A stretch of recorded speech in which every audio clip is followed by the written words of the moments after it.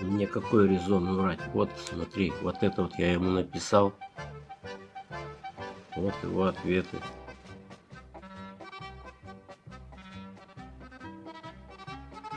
Все, он меня забанил, вот забанил. Баста.